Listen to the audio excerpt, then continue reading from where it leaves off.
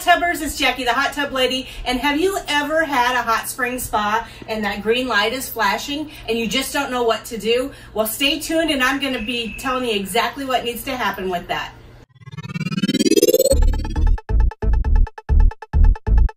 Hey folks, it's Jacque the Hot Tub Lady and welcome back. And today I'm going to talk about this troublesome green light that keeps flashing on and off and when and how you should change your saltwater cell. I just want to remind you all that I do do new content every Wednesday and I did say do do so you can all laugh at that, but I do put out new content new content every Wednesday and please don't forget to hit the subscribe button and give me a thumbs up. Looking forward to help you guys out. But today is the day I need to actually what I need to do is I need to change the cell on my my saltwater hot tub. I know that that's what I need to do, but I'm going to kind of go through it with you guys on how you should figure that out.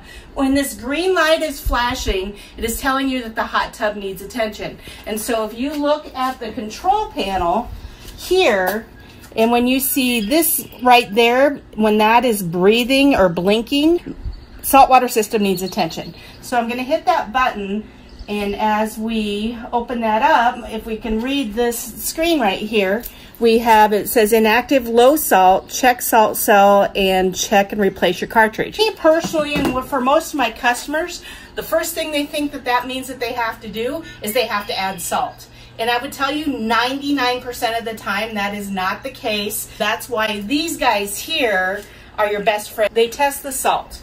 And so I'm going to take you guys through that real quick. But these are super important to do that. And anytime you have that error, this is the first thing you're going to do is you're going to test your salt. And you just take your test strip out and you're going to swirl it around in the water.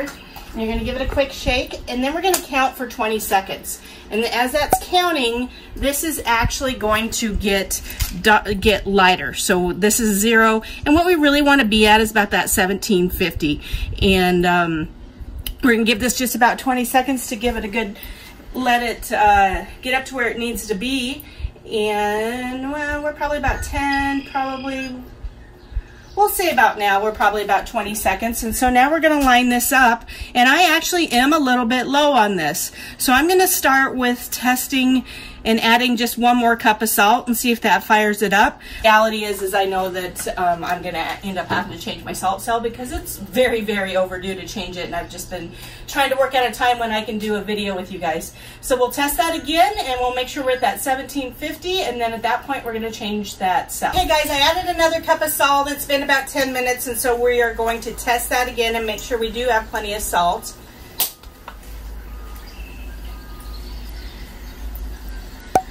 And again, we're gonna wait about 20 seconds. And his friend's gonna come in closer to me here, but you can see it's already above 1500 where I was, so we're gonna be just fine. But we'll get, we'll count, give it just a little tiny bit more. And voila, we're at 1750 on the salt. I still have that error on the salt on the display. So now I'm going to show you guys how to actually change that salt cell. So now you guys can see that we're back at that 1750 on the salt, but now we're, we still have that error message and we're going to actually change that salt cell. Again, always check your salt before you add salt. Very, very rarely do you actually have to add salt. So to actually change that salt cell, what we're going to do is we're going to click on here and it's going to tell us that that same message that we need to do that. I do want to change my cell this time, so I'm going to hit the off button. Replace cartridge, we're going to hit OK. And now it says turning pumps off. So this is how we do this, is we want to make sure we turn the pumps off. And once we get, once we get this screen, we're good to go. And we're going to go over here and we're going to get our salt cells out. Now it's a really good idea when you get these is I actually mark the date on when I replaced it and I just keep everything in the box. So in case it, it, doesn't last long enough or something like that, I do keep track of that. Change that, you literally come over here, and you just pop this off, and then you press this little button. Can you get a little closer? You press that button down in, and then you just pull that out. And then you never want to walk away from the hot tub with nothing in there because if you pull that out and there's nothing in there, you can actually drain the hot tub. So it's really important that there's something in there. I'm to take my new cell and we're going to, again, press that button. We're to line it up and put it in there. And then give it a little tug and make sure it's seated in there really well. put your cap back on.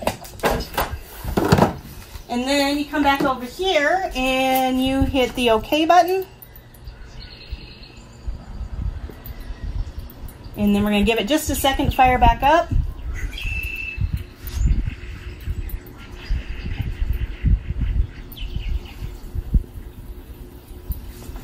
And so now it says my salt system's inactive. We're going to turn that cycle up. It's going to test.